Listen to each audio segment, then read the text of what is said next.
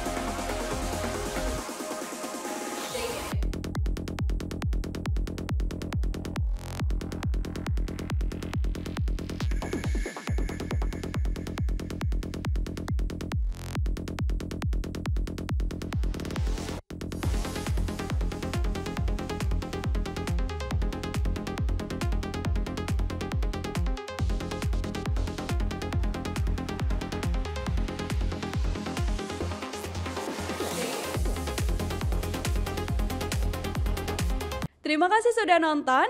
Jangan lupa like, subscribe, dan share ya.